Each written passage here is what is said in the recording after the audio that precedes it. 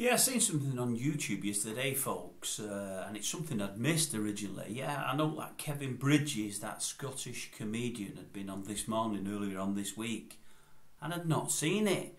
They do that now and again on that show. They tell you what's going to be on during the course of the day, and they leave out one or two spots. They don't mention them to you. I never knew he was on. I would have watched him. I like him a lot, a hell of a lot. I've not seen him much on the TV. He's sadly missing from our TV screens, and he needs to be on more. I think he's brilliant. I really like him.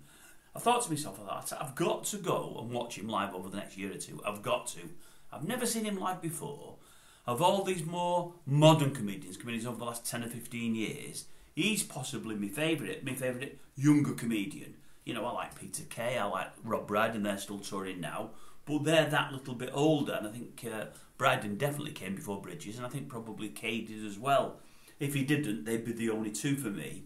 But I'd like to see Bridges. I've seen many of the great comedians of the last 30, 40 years. I've never watched him. I need to go and see him. I like him a lot. And as I say, I wish he was on our TV screens a bit more. I wish we could see him more in our living rooms.